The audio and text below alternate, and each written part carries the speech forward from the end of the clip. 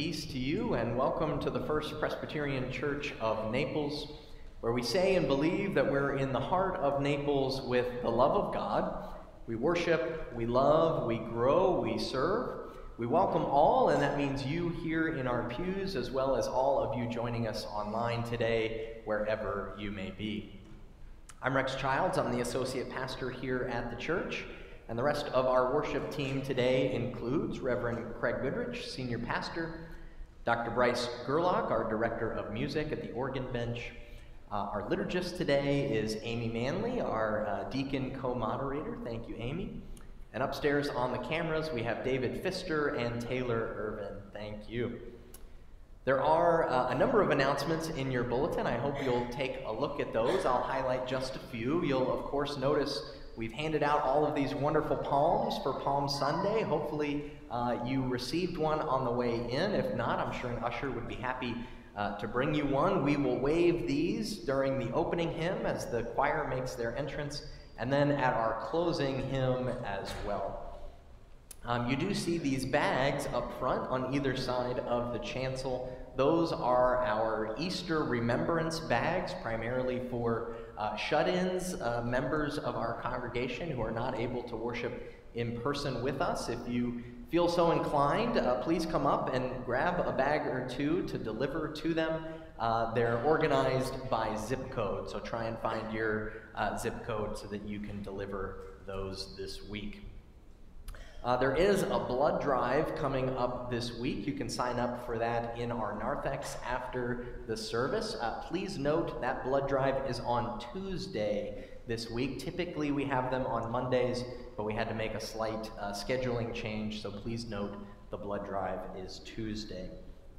Um, you'll also see in your pews there are giving envelopes for the one great hour of sharing and offering uh, that Presbyterian churches do around the country during this time of year. So you can read a bit more about that in your bulletin. We hope you'll participate in the one great hour of sharing. Uh, of course, Palm Sunday begins uh, Holy Week, and so wanted to let you know about our Holy Week services. You'll see that on the back of your bulletin. Uh, we have a Maundy Thursday service right here at 7 o'clock on Thursday this week. We'll be back at noon on Friday for the Good Friday service. And then please note, next Sunday we have different worship times. We'll have our 7:30 sunrise service out in the courtyard, and then here in the sanctuary we'll have two services at 8:30 and 10:15. For all of those who come to my Sunday school class, we're going to take next Sunday off. So please note that no Sunday school class for Easter next week.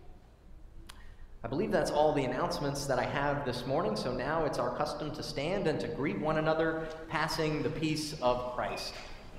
So the peace of Christ be with you.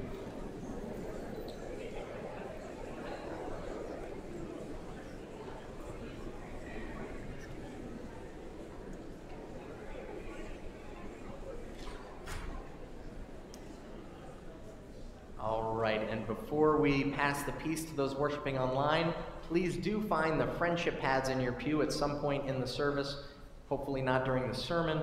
Um, but please do find those and fill out the information there. All right, let's look towards the front camera. You ready? The peace of Christ be with you. And now let's join together in our call to worship.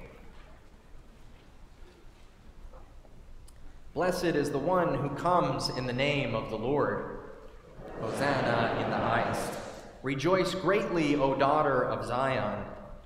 Shout aloud, O daughter of Jerusalem. Lo, your king comes to you. Triumphant and victorious is he. Let us worship God. Our opening hymn is All Glory, Laud, and Honor.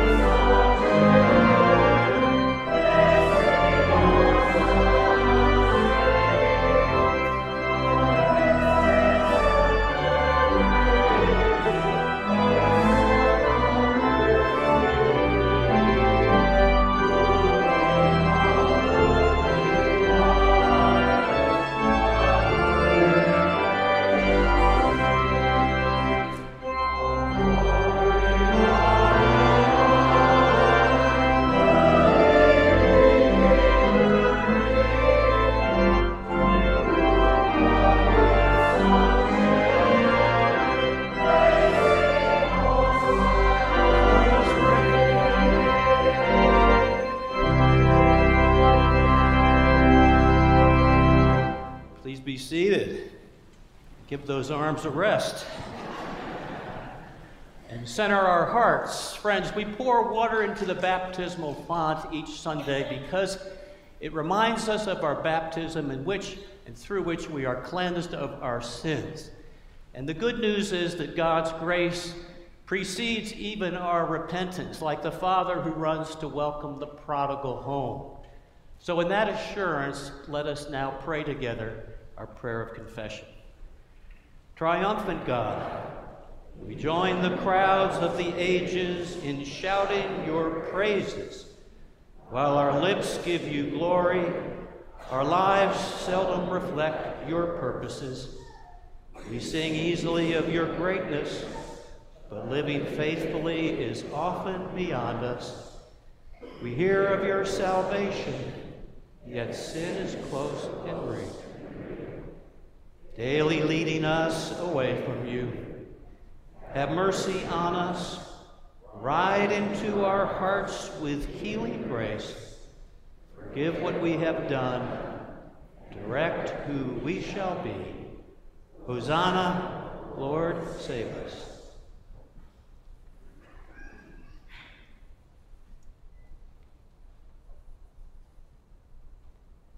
Hear the good news. In Jesus Christ, we are forgiven, receive God's forgiveness, and be at peace. Thanks be to God.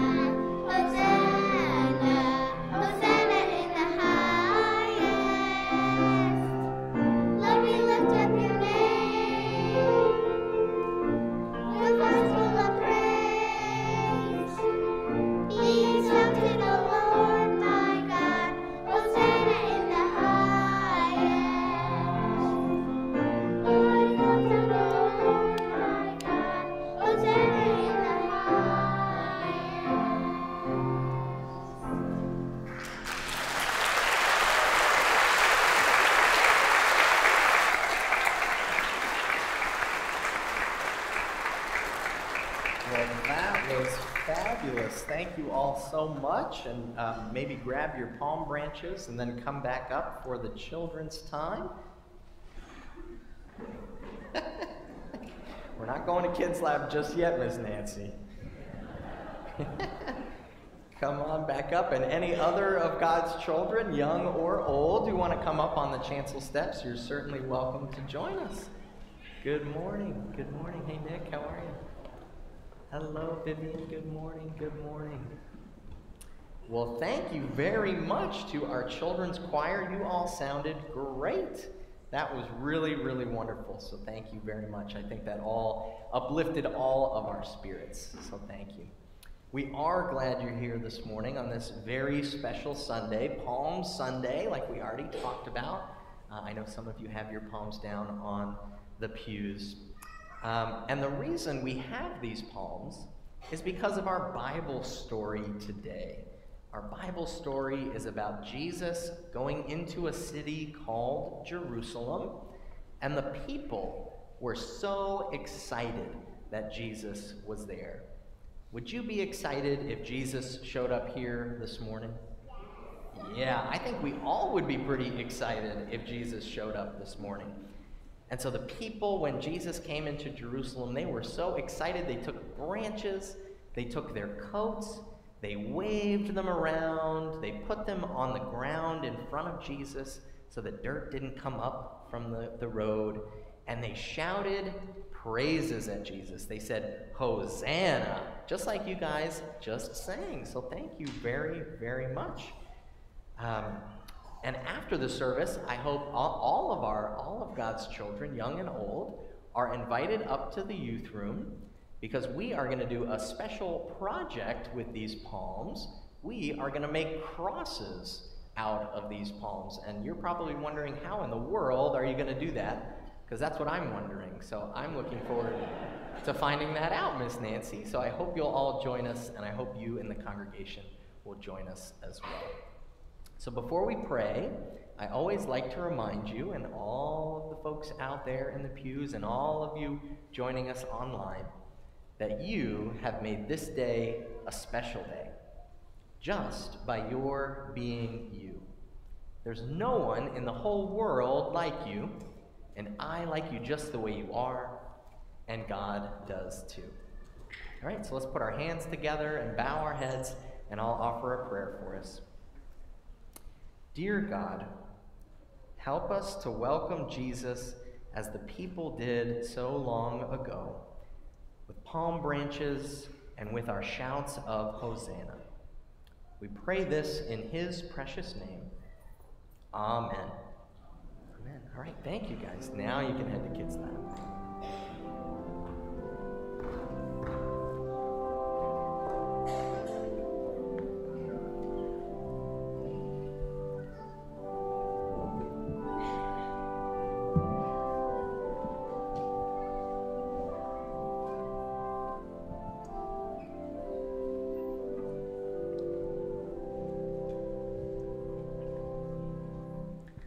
Come now to a special time in the life of our congregation, which is receiving new members.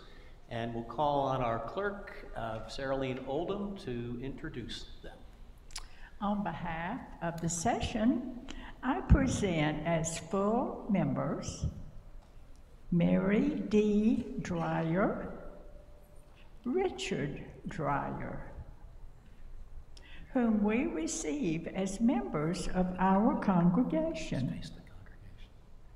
Mary D. and Richard, God has brought you to us in God's providence, just as God has brought each of us here today. And the session has met this morning and unanimously voted to accept you into membership. Always unanimous. And here is why we're here. Through baptism, we enter the covenant God has established and in that covenant, God gives us new life. We're nurtured by the love of God and God's people.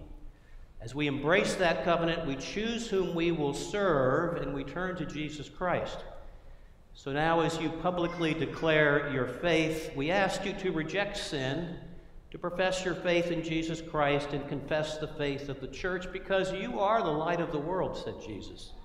A city built on a hill cannot be hid. No one, after lighting a lamp, puts it under a bushel basket, but on a lampstand, and it gives light to all in the house. And in the same way, Let your light so shine before others, so they may see your good works and give glory to God. So now, as you declare your faith, we ask you to reject sin and these questions now. Trusting in God, do you turn from the ways of sin and renounce evil and its power in the world? Do you? Do you turn to Jesus Christ, accept Him as your Lord and Savior, trusting in His grace and love? Do you? And will you be Christ's faithful disciple, obeying his word and showing his love? Will you?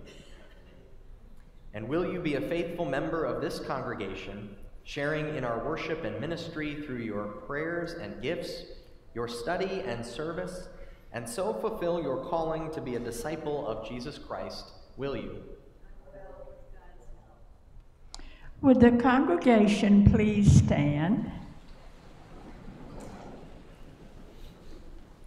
Do you, as members of the Church of Jesus Christ, promise to guide and nurture these members by word and deed with love and prayer, encouraging them to follow and know Christ and to be faithful members of Christ's church? We do. So let us welcome them using the liturgy printed in your bulletin. With joy and thanksgiving, we welcome you to share with us in the ministry of Christ, for we are all one in Christ. And let us pray. O most gracious and loving God, we thank you that you have brought these two people to this congregation. Empower us, strengthen us to support each other and encourage each other as we build up the body of Christ here in the heart of Naples. We pray this in your Son's name. Amen.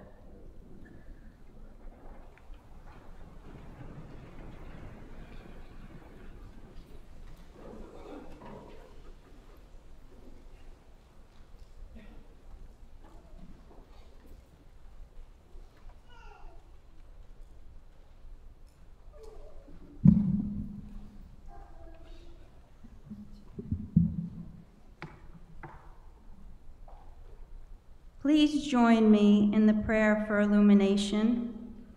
Eternal God, whose word silences the shouts of the mighty, quiet within us every voice but your own.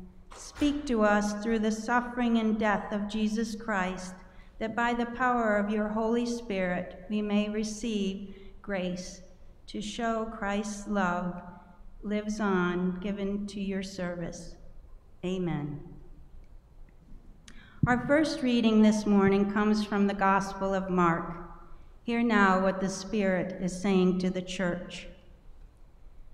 When we were approaching Jerusalem at Bethphage and Bethany, near the Mount of Olives, he sent for two of his disciples and said to them, Go into the village ahead of you, and immediately as you enter it, you will find tied there a colt that has never been ridden untie it, and bring it. If anyone says to you, Why are you doing this?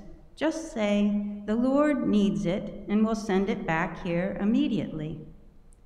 They went away and found a colt tied near a door outside in the street. As they were untying it, some of the bystanders said to them, What are you doing untying the colt? They told them what Jesus had said and they allowed them to take it. Then they brought the colt to Jesus and threw their cloaks on it, and he sat on it. Many people spread their cloaks on the road, and others spread leafy branches that they had cut in the fields. Then those who went ahead and those who followed were shouting, Hosanna! Blessed is the one who comes in the name of the Lord. Blessed is the coming kingdom of our ancestor David. Hosanna in the highest heaven. Then he entered Jerusalem and went into the temple. And when he had looked around at everything, as it was already late, he went out to Bethany with the twelve. This is the word of the Lord.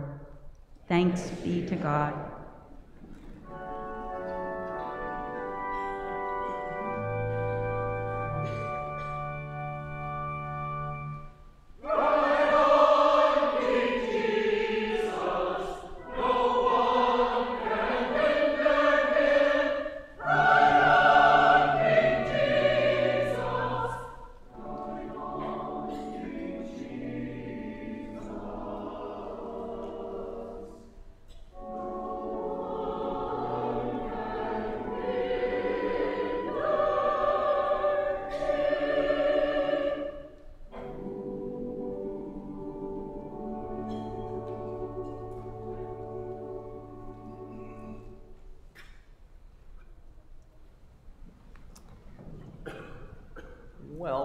Get to the second scripture reading, uh, we did want to recognize our choir. And that's because one of the common refrains we hear here at First Pres is how wonderful the music program is. And a big part of that equation is our choir, who lead us in the hymns. They offer uh, beautiful special offerings of music to us, like the response we just heard. Um, so today, again, we wanted to take a moment to recognize our choir. You will see in your bulletin that all of their names are printed by section, so I hope you'll take note of that at a point during the service. But uh, the choir, would you please stand one more time so we could thank you?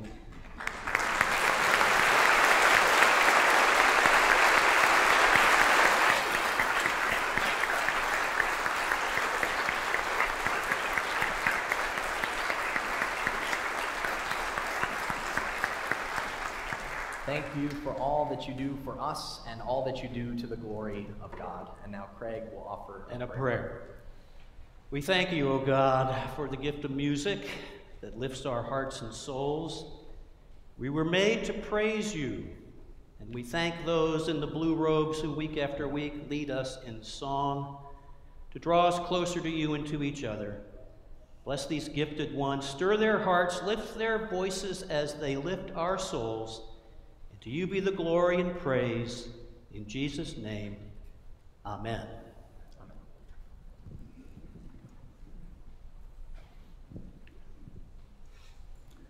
Our second scripture reading today is also from the Gospel of Mark. You'll notice it's quite lengthy, so uh, just get comfortable and follow along in your bulletin. It's from the Gospel of Mark, chapter 15. Hear now God's word for you and for all of us today. They compelled a passerby who was coming in from the country to carry his cross.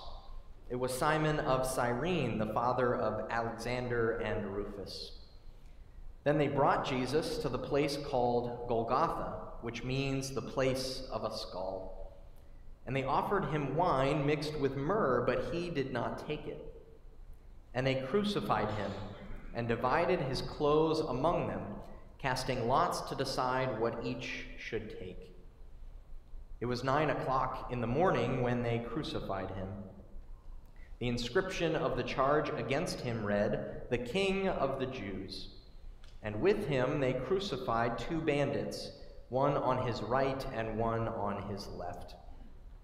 Those who passed by derided him, shaking their heads and saying, Aha!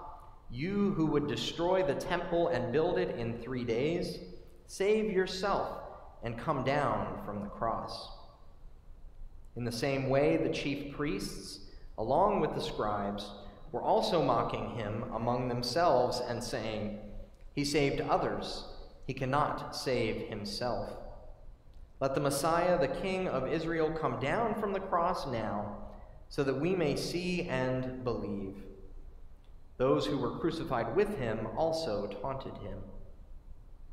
When it was noon, darkness came over the whole land until three in the afternoon. At three o'clock, Jesus cried out with a loud voice, Eloi, Eloi, lema sabachthani, which means, My God, my God, why have you forsaken me? When some of the bystanders heard it, they said, Listen, he is calling for Elijah. And someone ran, filled a sponge with sour wine, put it on a stick, and gave it to him to drink, saying, Wait, let us see whether Elijah will come to take him down. Then Jesus gave a loud cry and breathed his last. And the curtain of the temple was torn in two from top to bottom. Now, when the centurion who stood facing him saw that in this way he breathed his last, he said, Truly, this man was God's son. There were also women looking on from a distance. Among them were Mary Magdalene and Mary, the mother of James the younger, and of Joseph and Salome. These used to follow him and provided for him when he was in Galilee. And there were many other women who had come up with him to Jerusalem.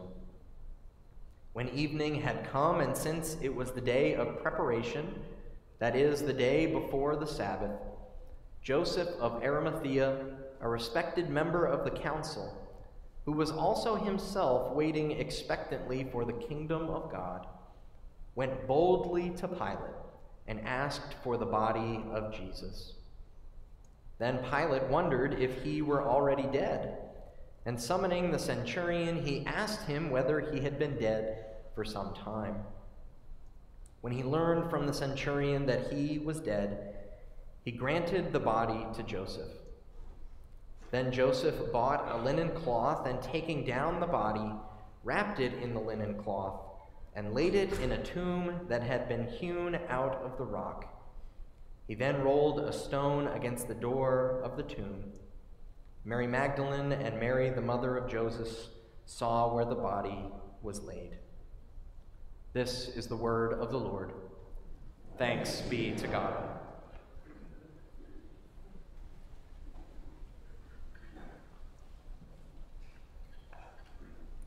And let us pray.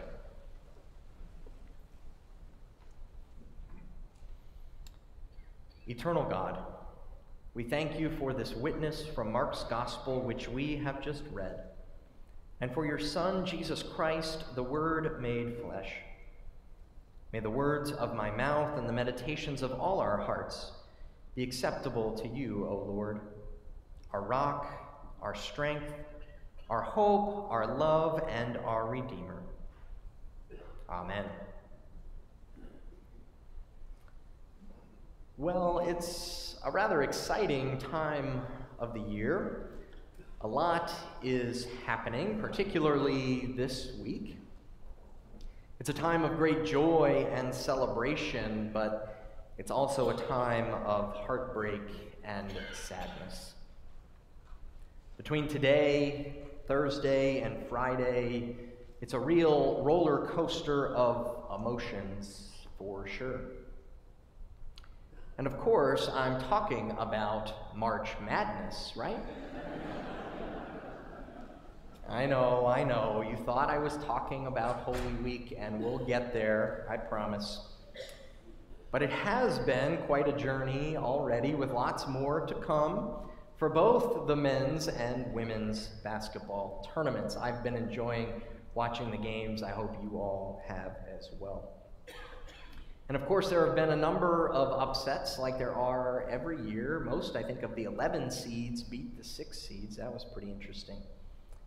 But sadly, my Florida Gators lost on a last second shot in the first round. Uh, but I do know Craig is very excited that the Tar Heels are in the Sweet 16. We'll see if they can go all the way, Craig. We'll see. But getting to the reason we're here today, this is the beginning of Holy Week, the biggest week in the liturgical year, the biggest week in the church calendar. As I mentioned in the announcements, we will have a Maundy Thursday service, 7 p.m. We'll be back for Good Friday at noon, and we'll have those three services on Easter Sunday. Sunrise at 7:30 in the courtyard, just a brief service. Then two services here in the sanctuary, 8:30 and 10:15. We hope we'll see you for each of those days, or as many as you can come to. But today, again, today is Palm Sunday, or to be a bit more precise, it's actually Palm Passion Sunday. But that doesn't quite roll off the tongue the same, does it? As we saw in our scripture readings, today has kind of a dual focus the palms and the Passion. And while it seems a bit odd, this has actually been the case since the fourth century. And so we rely on the church's tradition, the wisdom of that tradition, which rightly emphasizes that the approach to Jerusalem, this coming into Jerusalem, has the cross as its final destination. So we begin with loud celebrations welcoming Jesus into Jerusalem. But we end with the crucifixion and the silence of the tomb. Well, one commentator I read this week simply said that the palm procession is a revolutionary act. It's a revolutionary act, rather strong terms. But that was true for the people in Jesus' time, and I think it's true for us today as well. You know, for us today, it's really the only Sunday of the year where we hand out really any kind of prop, right? We wave them around. Most Sundays, we're really only accustomed to using our ears and our minds. But today, this special day, we engage more of our senses. We stand and move our bodies, we wave our arms around, and as Craig mentioned, mine was getting pretty tired. I don't know about you. But we also get this beautiful image this beautiful vision of the palm branches swaying back and forth. I saw a few of you kind of up in the front turning around to see that view. And if you didn't at the first hymn, I hope you will at the last hymn, because it's a beautiful picture. All these palms waving together as we sing. We can see and imagine what it must have been like to be part of the crowd as Jesus rode by, that kind of impromptu parade as Jesus enters the city. But for Jesus and the disciples, it's, it seems to be at least a rather curious event. Jesus comes into the city, but he really doesn't do anything. He doesn't speak to anyone, he doesn't address the crowd that had been shouting praises of Hosanna at him. He goes to the temple and he just kind of looks around. Somebody in our Sunday school class said he did a recon mission of the temple, right? Seeing what's going on there, seeing what he can expect. But he goes in, he takes a look, and it's late in the day, and so he leaves. He goes back to Bethany for the night.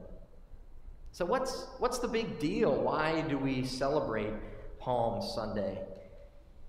Well, there's really there's a lot of symbolism going on in our passage, at least the first passage in particular. We get a lot of details about the colt, right, and how it was procured by two of Jesus' disciples. So that's something we should really be paying attention to. In Matthew's version of the story, and this story appears in all four Gospels actually, but in Matthew's version of the story, it's explicitly mentioned, but in Mark, it's only alluded to that there is a prophecy in Zechariah 9. And this prophecy is that the long awaited messianic king would enter Jerusalem riding on a humble steed, on a colt. We also should know that pilgrims traveling to Jerusalem for the Passover were expected to walk into the city. So Jesus, by riding on the colt, is making a statement. He's separating himself from every other pilgrim traveling to Jerusalem for the Passover. He's making a statement about his royal authority.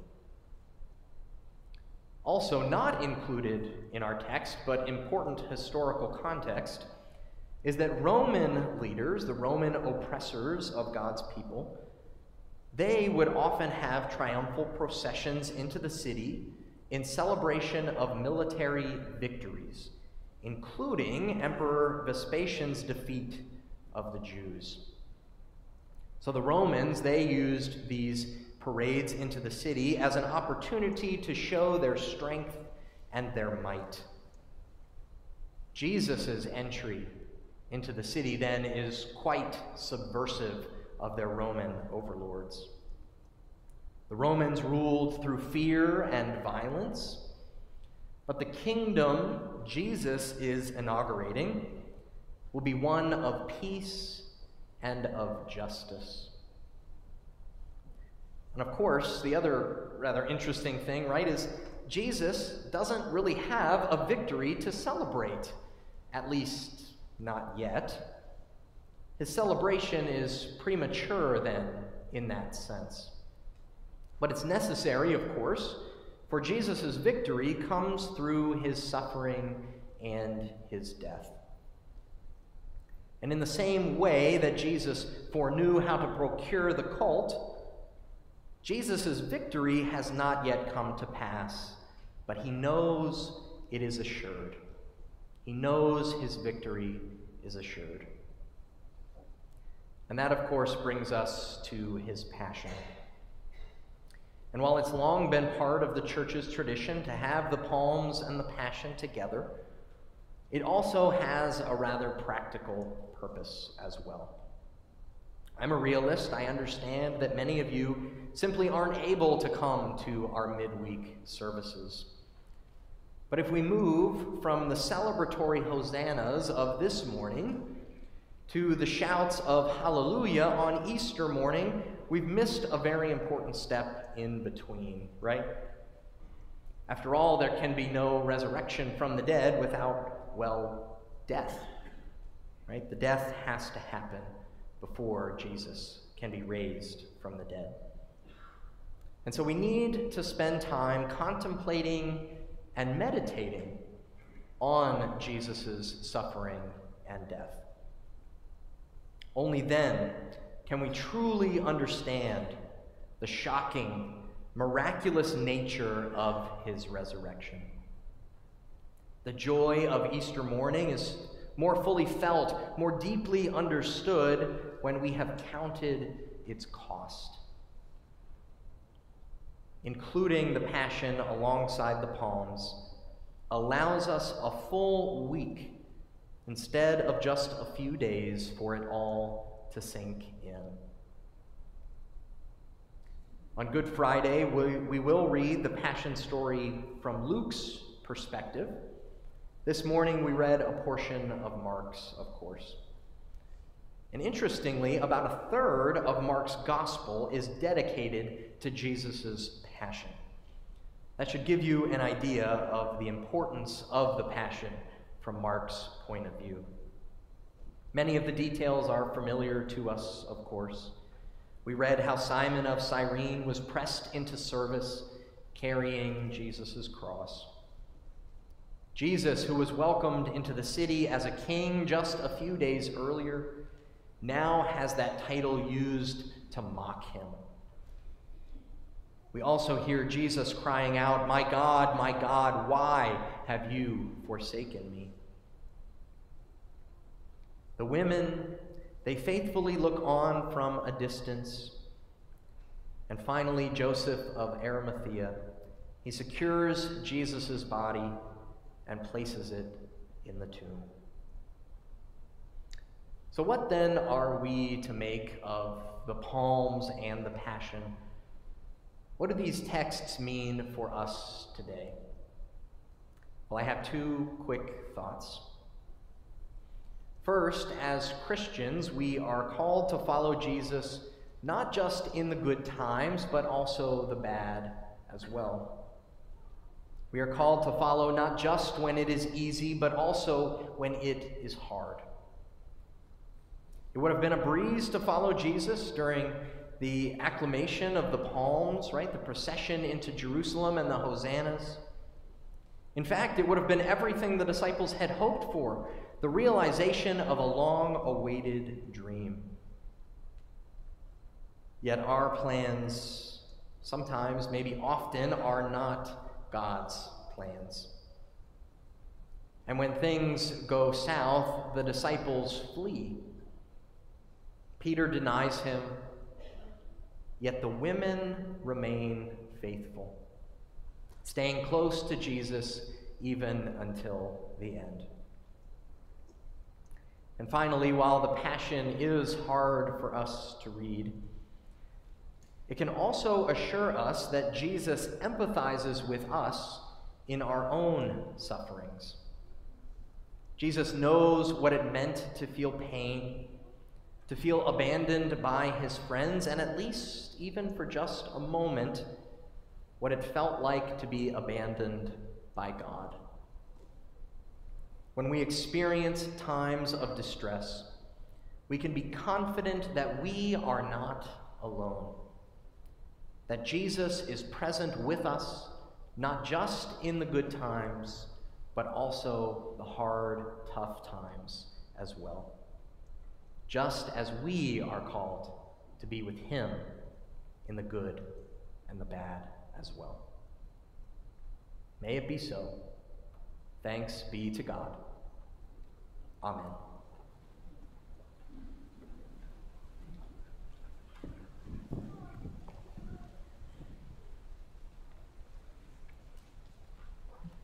Let us now stand, those who are able, as we join in together, saying the Apostles' Creed.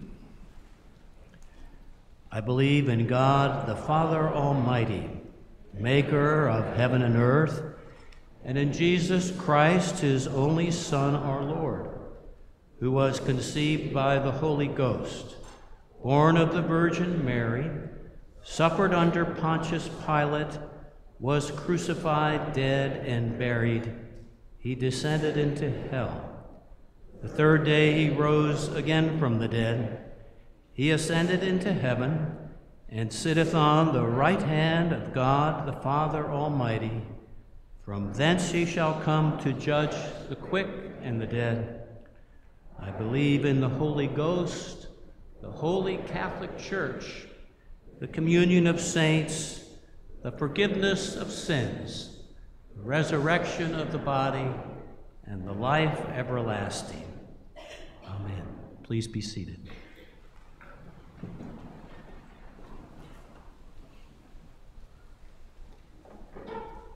Friends, as we join in prayer, I invite you to turn a page to find our prayer list, and you will see folks' names listed there. Just take a moment in silence to read over those names, please.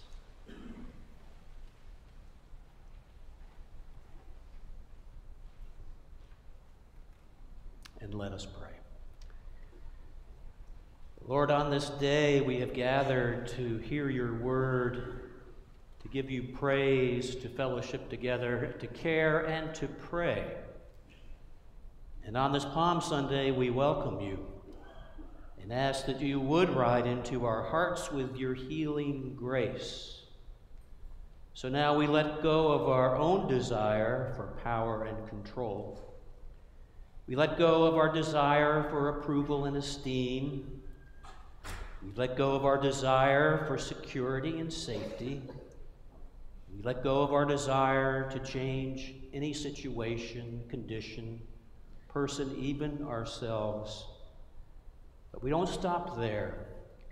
We open to your love and presence and God's action within us. We open to the power and the energy and flow of Holy Spirit. And we will do and say and go as you lead us. And so now we make our prayer of intercession.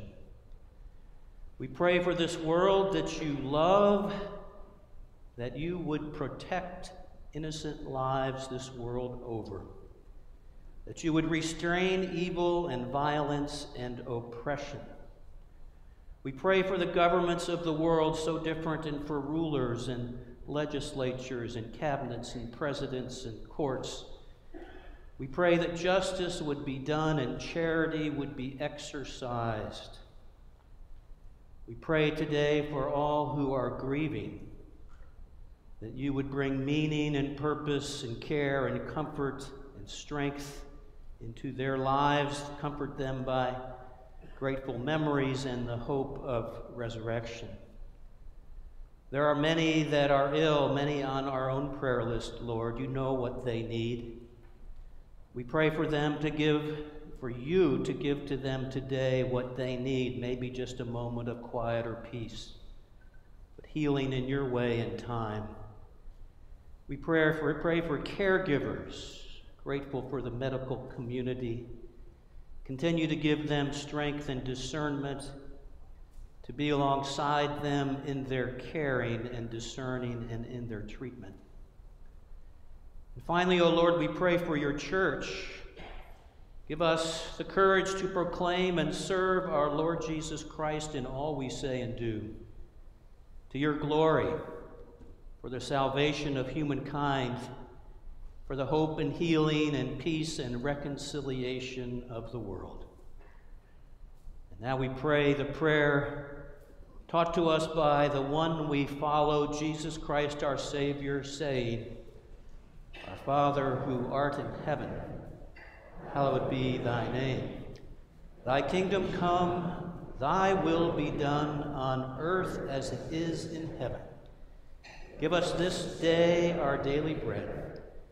Forgive us our debts as we forgive our debtors. And lead us not into temptation, but deliver us from evil. For thine is the kingdom, the power, and the glory forever. Amen.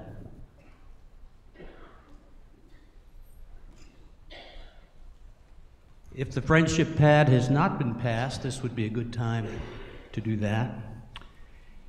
All that we have, our very life and breath, is a gift from God. It's all grace. Our response is gratitude. So now we will receive our morning offering with open hearts and hands, as well as the gift of music, the offering of our choir.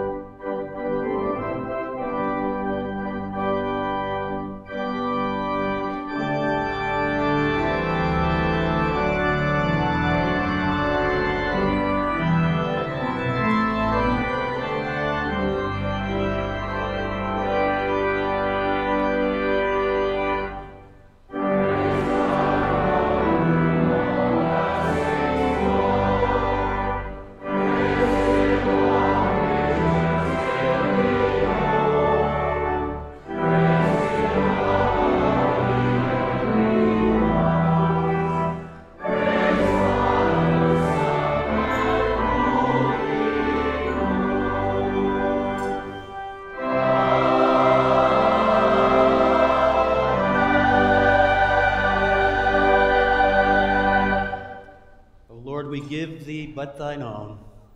We ask your blessing upon these gifts, those given online, those given in the mail, those given for the one great hour of sharing, that you would multiply them to be used for the ministry of Jesus Christ in and through this place, in and through us. And this we pray with expectation and thanksgiving in Jesus' name. Amen. Our hymn of commitment is Hosanna, loud Hosanna.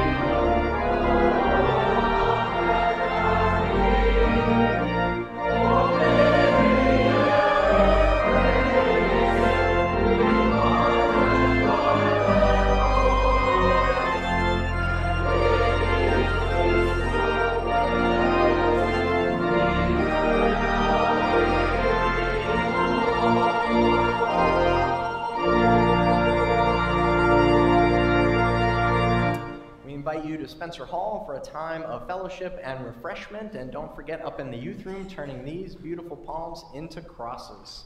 Um, but now let us go to love and serve the Lord.